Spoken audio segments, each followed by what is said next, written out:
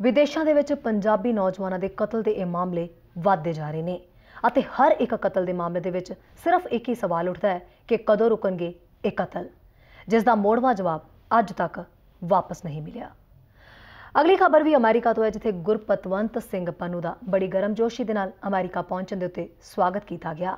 ਦਰਅਸਲ ਗੁਰਪਤਵੰਤ ਸਿੰਘ ਪੰਨੂ 2 ਮਹੀਨੇ ਤੋਂ ਪਰਮਜੀਤ ਸਿੰਘ ਪੰਮਾ ਦੀ ਭਾਰਤ ਹਵਾਲਗੀ ਰੋਕਣ ਤੇ ਉਹਨਾਂ ਦੀ ਰਿਹਾਈ ਨੂੰ ਸੰਭਵ ਬਣਾਉਣ ਦੀਆਂ ਕੋਸ਼ਿਸ਼ਾਂ 'ਚ ਜੁਟੇ ਹੋਏ ਸਨ ਅਤੇ ਪਰਮਜੀਤ ਪੰਮਾ ਦੇ ਇੰਗਲੈਂਡ ਆਪਣੇ ਪਰਿਵਾਰ ਦੇ ਕੋਲ ਪਰਤਣ ਤੋਂ ਬਾਅਦ ਗੁਰਪਤਵੰਤ ਪੰਨੂ ਅਮਰੀਕਾ ਪਹੁੰਚੇ ਤਾਂ ਸਿੱਖ ਨੁਮਾਇੰਦਿਆਂ ਨੇ ਇਸ ਜਿੱਤ ਨੂੰ ਸੱਚ ਦੀ ਜਿੱਤ ਦੱਸ ਕੇ ਉਹਨਾਂ ਦਾ ਗਰਮਜੋਸ਼ੀ ਦੇ ਨਾਲ ਸਵਾਗਤ ਕੀਤਾ ਅਤੇ ਪੰਜਾਬ ਸਰਕਾਰ ਦਾ ਸਿੱਖਾਂ ਵਿਰੋਧੀ ਚਿਹਰਾ ਸਾਹਮਣੇ ਆਉਣ ਦਾ ਦਾਅਵਾ ਵੀ ਕੀਤਾ। ਆਓ ਦੇਖਦੇ ਹਾਂ ਇੱਕ ਰਿਪੋਰਟ। ਪਿਛਲੇ ਦਿਨੀ ਇੰਗਲੈਂਡ ਦੀ ਸਿਆਸੀ ਸ਼ਰਨ ਪ੍ਰਾਪਤ ਭਾਈ ਪਰਮਜੀਤ ਸਿੰਘ ਪੰਮਾ ਨੂੰ ਪੁਰਤਗਾਲ ਵਿਖੇ ਗ੍ਰਿਫਤਾਰ ਕੀਤਾ ਗਿਆ ਸੀ। ਭਾਰਤ ਦੀਆਂ ਖੂਫੀਆ ਏਜੰਸੀਆਂ ਵੱਲੋਂ ਤੇ ਪੰਜਾਬ ਪੁਲਿਸ ਵੱਲੋਂ ਭਾਈ ਪਰਮਜੀਤ ਸਿੰਘ ਪੰਮਾ ਨੂੰ ਭਾਰਤ ਲਿਆਉਣ ਲਈ ਜ਼ੋਰ ਅਜਮਾਇਸ਼ ਕੀਤੀ ਗਈ। ਪਰ ਭਾਈ ਪਰਮਜੀਤ ਸਿੰਘ ਪੰਮਾ ਦੀ ਭਾਰਤ ਹਵਾਲਗੀ ਰੋਕਣ ਲਈ ਪੁਰਤਗਾਲ ਦੀ ਧਰਤੀ ਉੱਤੇ ਲਗਭਗ 2 ਮਹੀਨੇ ਤੱਕ ਸੰਘਰਸ਼ ਕਰਨ ਵਾਲੇ ਗੁਰਪਤਵੰਤ ਸਿੰਘ ਪੰਨੂ ਨੂੰ ਆਖਰਕਾਰ ਜਿੱਤ ਪ੍ਰਾਪਤ ਹੋਈ ਤੇ ਉਹ ਪਰਮਜੀਤ ਸਿੰਘ ਪੰਮਾ ਦੀ ਭਾਰਤ ਹਵਾਲਗੀ ਰੋਕਣ ਦੀ ਲੜਾਈ ਜਿੱਤ ਗਏ।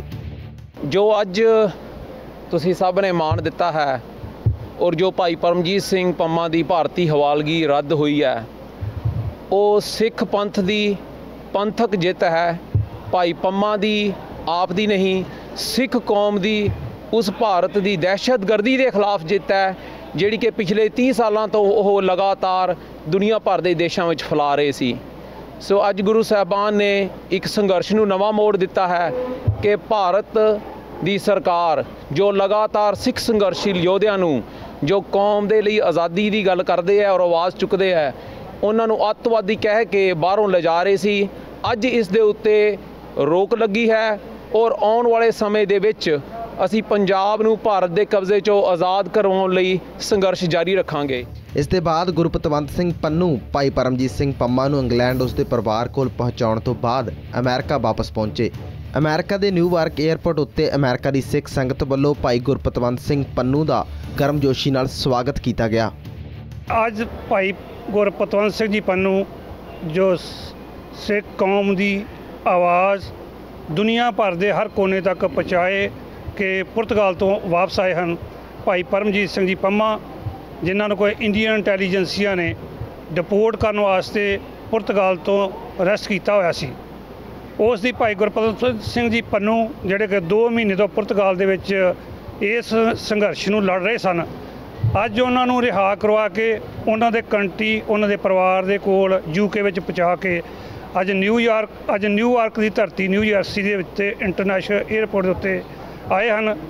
ਟਰਾਈ ਸਟੇਟ ਦੀਆਂ ਸਮੂਹ ਸੰਗਤਾਂ, ਗੁਰਦੁਆਰਾ ਪ੍ਰਬੰਧਕ ਕਮੇਟੀਆਂ, ਪੰਥਕ ਜਥੇਬੰਦੀਆਂ ਨੇ ਭਾਈ ਗੁਰਪਤਵੰਤ ਸਿੰਘ ਜੀ ਪੰਨੂ ਦਾ ਨਿਊਯਾਰਕ 에ਅਰਪੋਰਟ ਤੇ ਆਉਣ ਤੇ ਧੰਨਵਾਦ ਕੀਤਾ ਹੈ। ਇਹਨਾਂ ਨੂੰ ਜੀਆਂ ਕਿਹਾ ਹੈ, ਜਿਨ੍ਹਾਂ ਨੇ ਇੱਕ ਏਡੀ ਵੱਡੀ ਸਿੱਖ ਕੌਮ ਦੀ ਆਜ਼ਾਦੀ ਦੀ ਜੰਗ ਜਿੱਤੀ ਹੈ।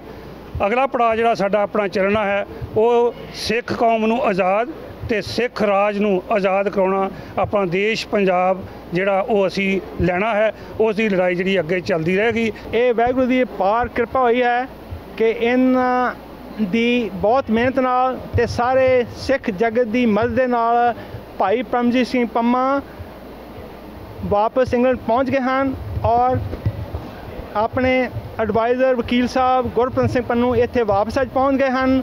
ਇਹ ਵਾਹਿਗੁਰੂ ਦੀ ਪਾਰ ਕਿਰਪਾ ਹੋਈ ਹੈ ਅਸੀਂ ਸਾਰੇ ਸਿੱਖ ਜਗਤ ਦਾ, ਜਿੰਨਾ ਵੀ ਸਿੰਘਾਂ ਸਿੰਘਣੀਆਂ ਦੇ ਵਿੱਚ ਹਿੱਸਾ ਪਾਇਆ ਵਾ, ਆਪਣਾ ਜੋਰ ਪੂਰਾ ਲਾਇਆ ਵਾ ਪੋਰਚੁਗੀਜ਼ ਐਮਬੈਸੀ ਜਾ ਕੇ ਬਾਹਰ ਡੈਮੋਨਸਟ੍ਰੇਸ਼ਨ ਕੀਤੀਆਂ ਨੇ ਔਰ ਅੰਦਰ ਅਸੀਂ ਮੈਮੋਰੈਂਡ ਜਿਹੜਾ ਦੇ ਕੇ ਆਏ ਆ ਉਹ ਸਾਰੇ ਦਾ ਇਹ ਫਲ ਜਿਹੜਾ ਨਿਕਲਿਆ ਵਾ ਤੇ ਤੁਹਾਨੂੰ ਸਾਰਿਆਂ ਨੂੰ ਇਹਦੀ ਫਿਰ ਬਹੁਤ ਬਹੁਤ ਵਧਾਈ।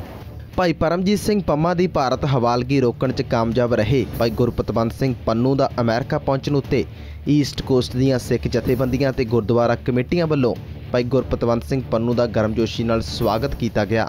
ਇਹ ਇਸ ਗੱਲ ਦਾ ਸਬੂਤ ਹੈ ਕਿ ਸਿੱਖ ਕੌਮ ਸੱਚ ਦੀ ਜਿੱਤ ਉੱਤੇ ਬਹੁਤ ਖੁਸ਼ ਹੈ।